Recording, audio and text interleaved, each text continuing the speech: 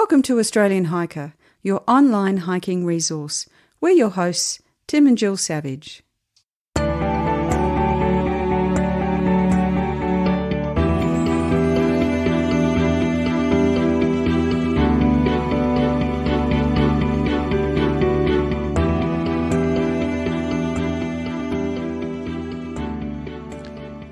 This is episode 157 of the Australian Hiker podcast. And in this week's episode, we're going to be talking about pack training. Now, physical preparation is a part of getting ready for any hike. For shorter, easier hikes, the training may be almost non existent, while for longer and more complex hikes, you can spend weeks, if not months, preparing. Training for longer hikes involves many different physical aspects, including cardio and weight training, flexibility training, Lots of walking, both with and without packs. In this podcast, we're going to talk about the do's and don'ts of pack training to help you get the most out of your hike. We hope you enjoy.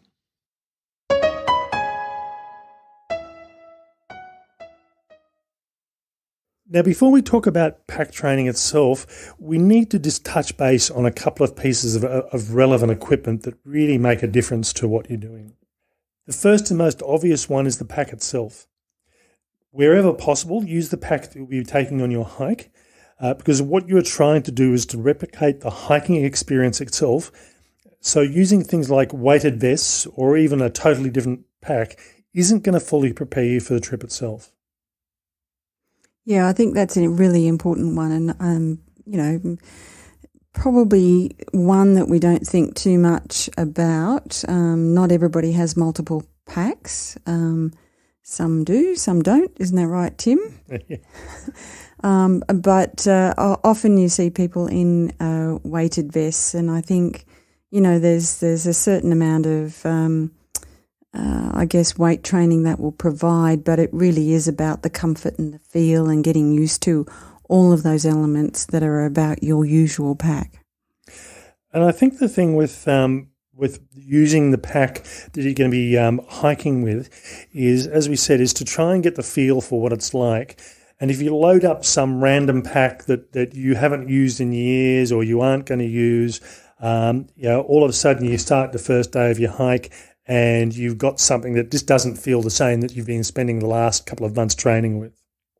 The second related gear piece of uh, to consider is the footwear.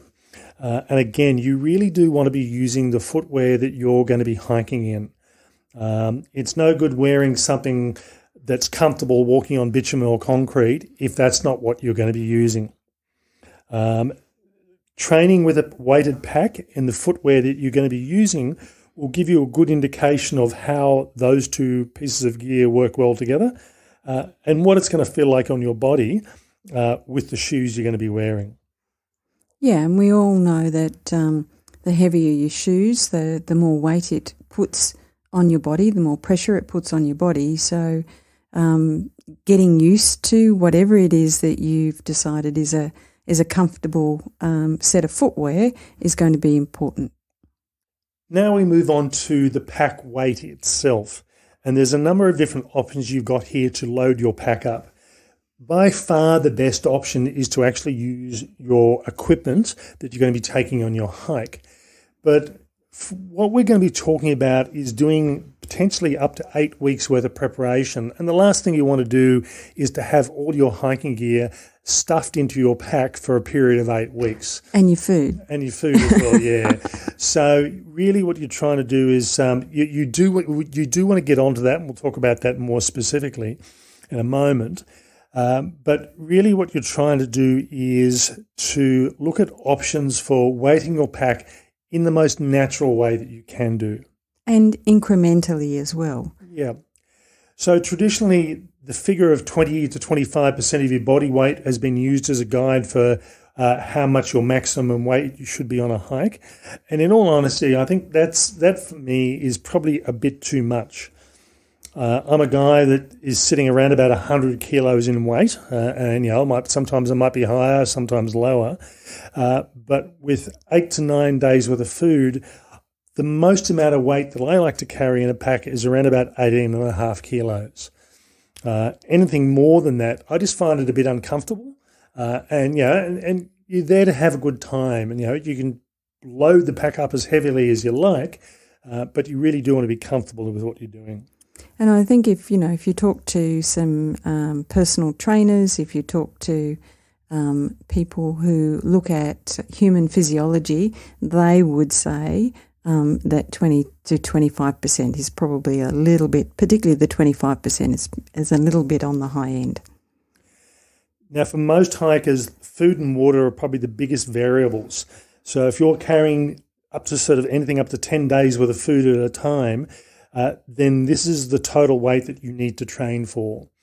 Uh, now, for me, my total average food weight is just under 700 grams per day.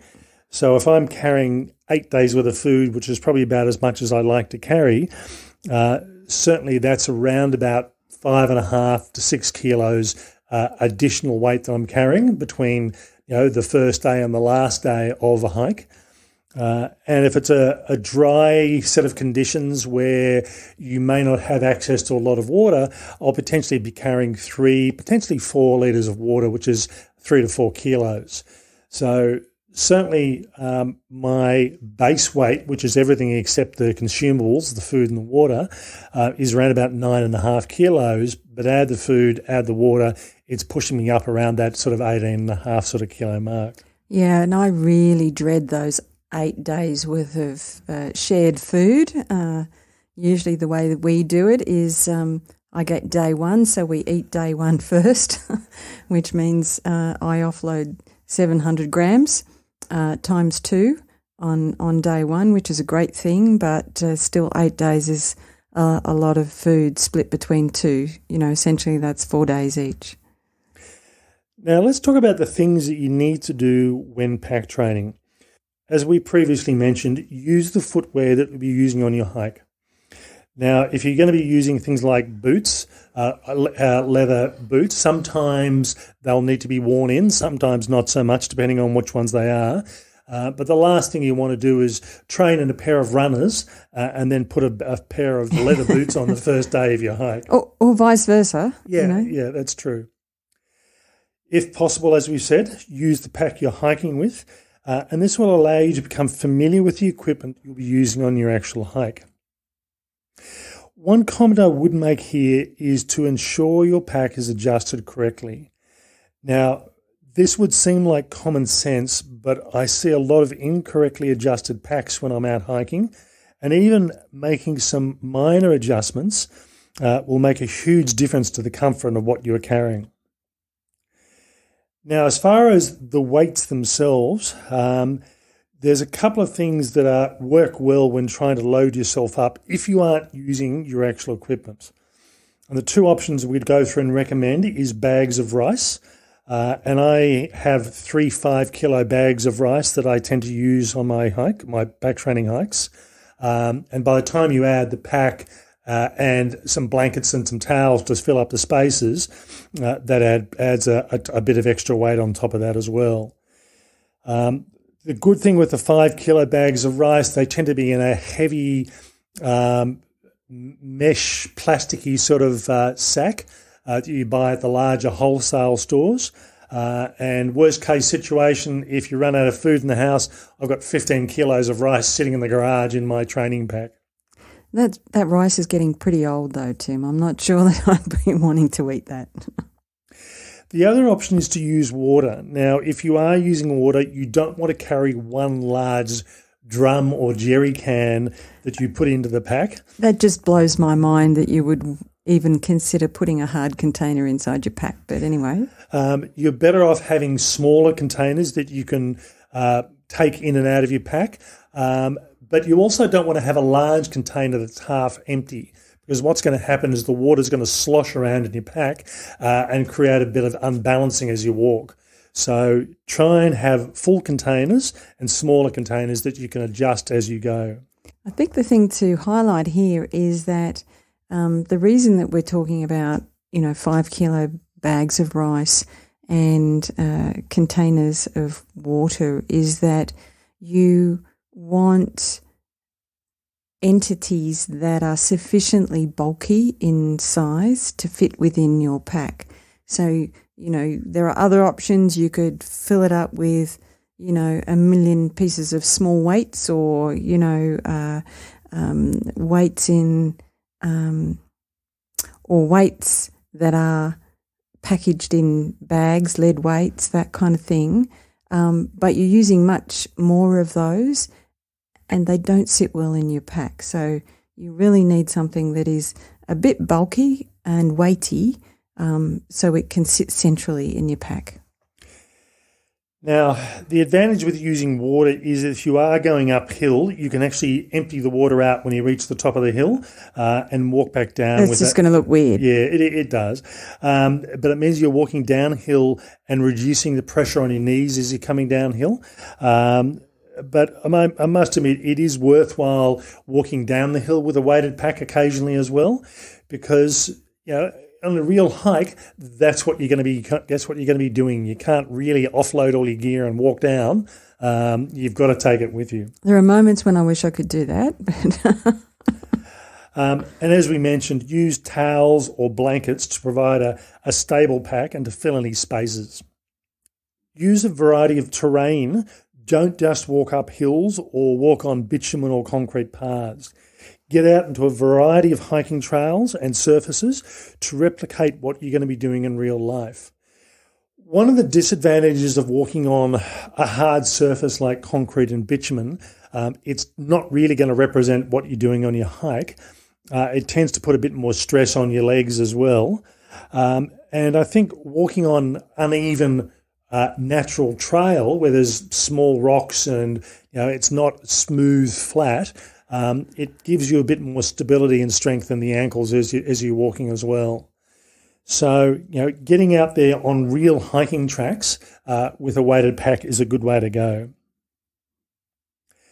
Vary the distances that you walk. Don't just walk the same distance over and over again. During the last few months, uh, due to the pandemic, I um, started walking around uh, our suburb and I managed to identify a route that's about about five kilometres long. Uh, and that certainly is one of my main training routes that I use. But I also use one of my local mountains, which is about three and a half kilometres uphill and down, uh, as well as uh, picking on other trails uh, that are a bit longer that have some up sections and down sections and flat sections as well. Build up your pack weight slowly to allow your body to get used to the weight. So the, the, the, thing you don't want to do is to say, right, I'm starting pack training tomorrow and putting a 20 kilo pack on your back when you haven't been using a pack for quite a while. Yeah, you probably won't come back the next week and you may not even make the hike that you're planning. um, so, from my perspective, I do a range of physical preparation for the hike. As I said, I do weight training in a gym. Uh, I do cardio training. Uh, I do uh, strength, uh, flexibility training, uh, and I do pack tra- uh, walking, including with and without a pack. For me, I start using or doing pack training eight weeks out, and my schedule tends to be the first week, eight weeks out, I'm using a five kilo pack. Uh, seven and six weeks out, I'm wearing a 10 kilo pack. Uh, five weeks out and four weeks out, I go shift to a 15 kilo pack. Uh, and then three and two weeks to go, I'm going to a 20 kilo pack.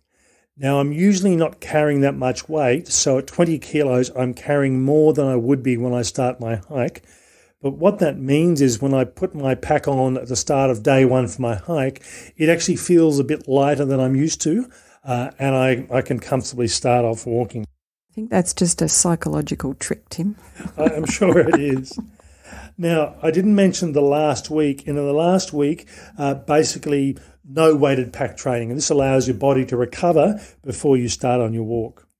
Now, my final weighted pack training session is with my full gear, uh, and this is where I put all my gear in my pack uh, including my food because it's it's a week to go and I've, I've I've actually prepared all my food at this stage.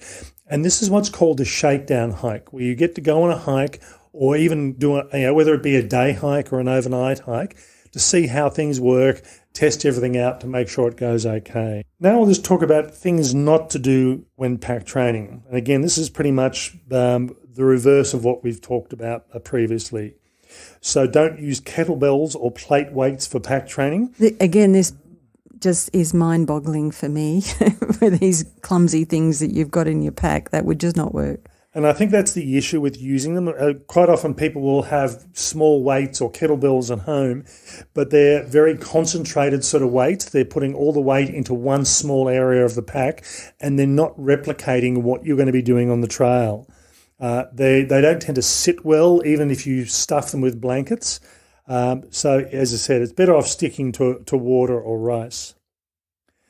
As we mentioned, don't use the large single drums don't go too heavy, too hard, too soon. So build up to your maximum weight training over a period of weeks. Uh, but don't start too early on the, the heavy weight training as well. Uh, and don't just walk around your neighbourhood. Get out on real hiking trails. Now, a few years ago, we interviewed Joe Bonington from Joe's Base Camp, uh, and we talked about preparing for a hike. Um, and as part of that, that we would like to bring you a short segment of Joe's interview where he talks about pack training. If we train uh, athletes who are, you know, their livelihood, their income depends on their performance, they only spend a small portion of their time before competition absolutely peaking. And everything before that is either laying foundations, building, cycling then we peak before whatever competition it is, and then we go. And you can apply exactly the same principles to, to any outdoor and adventure sport. You know, so.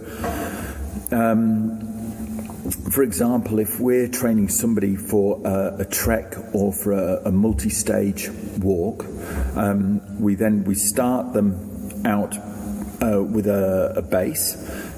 We then build on their base we then have a phase which we call the climb phase, which kind of transitions between the base and the peak.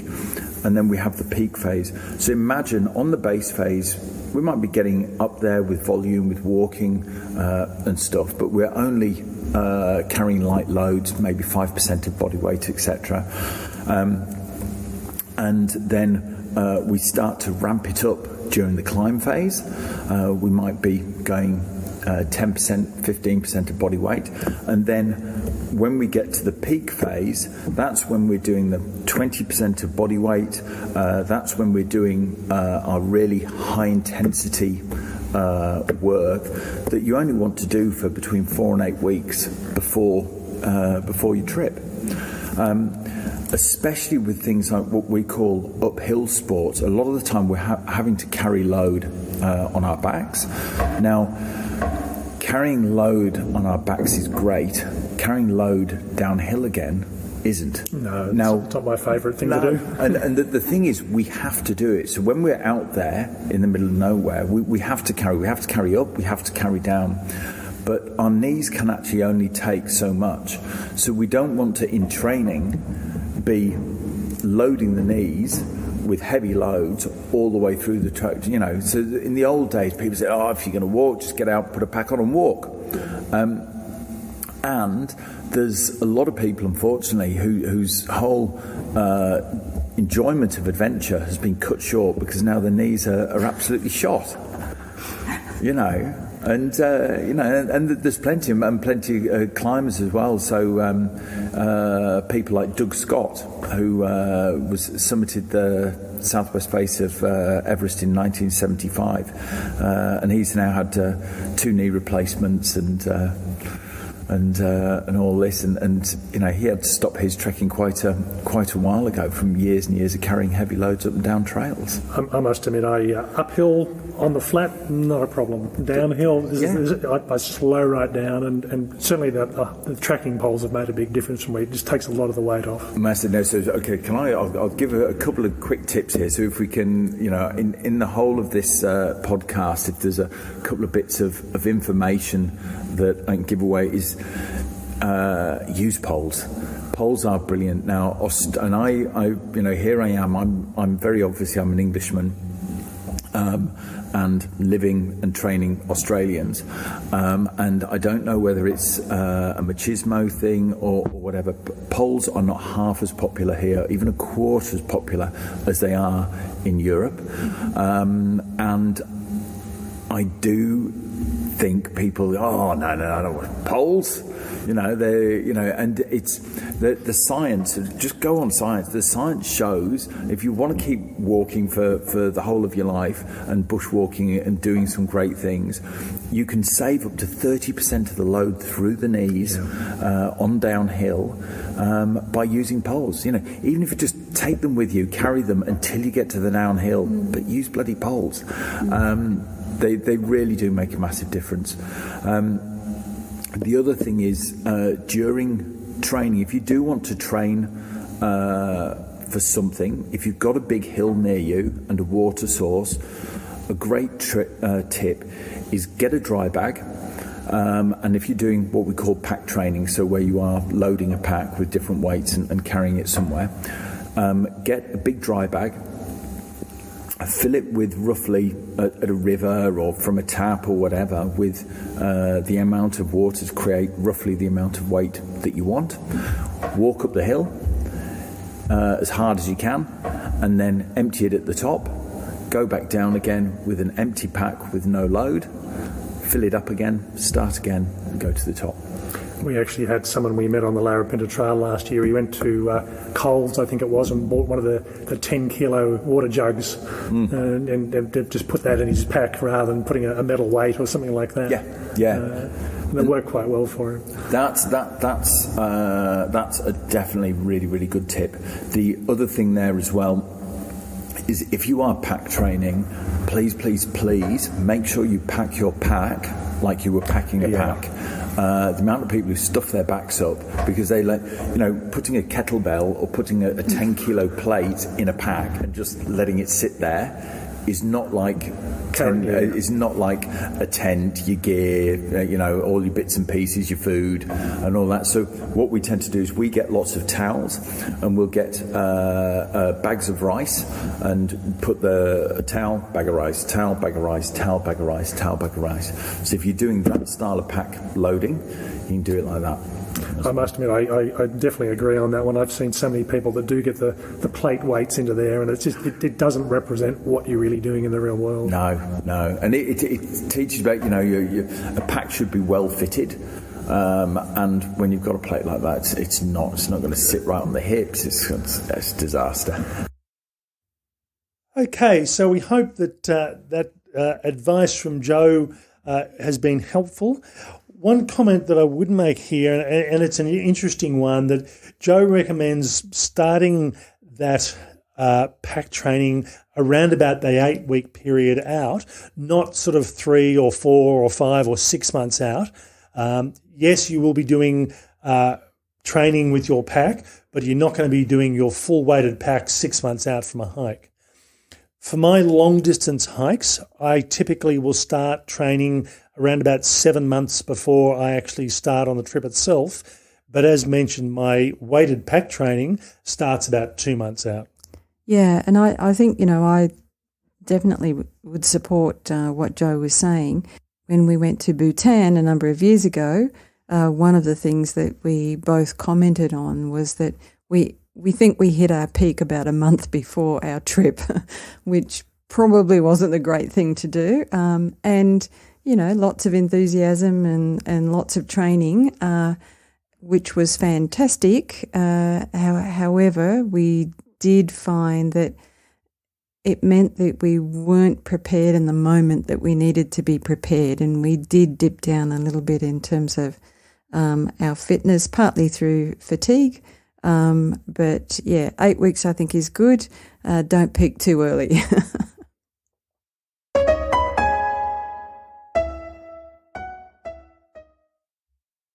Now, just some final thoughts on the, the whole process of pack training. The thing to remember that if training for a hike is something new to you or you haven't done much physical exertion for a while, you should always check with your doctor to make sure there aren't any issues. It's also worthwhile getting in touch with a fitness professional uh, one that's experienced in hiking, as they'll be able to help you get the most out of your training.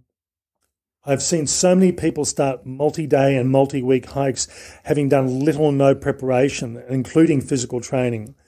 And while pack training seems like uh, an additional piece of exertion to your schedule that you won't necessarily uh, really get much benefit out of, you'll greatly appreciate it when you hit the trail when there are no surprises when you first put on your fully loaded pack on day one. And, you know, I think the thing to remember is that it, it just makes the whole experience a little bit more enjoyable the more prepared you are. And as the last comment, as we mentioned, don't forget to do the shakedown hike where you go for a, hike uh, with all your gear, including your food, to provide you with an opportunity to ensure that things work the way it should. That's all for this week's episode. In episode 158 to be released next week, uh, we're going to be doing something slightly different and we're going to be talking about snowshoeing. So that should be an interesting one. That's all for this week. Bye for now. And bye from me.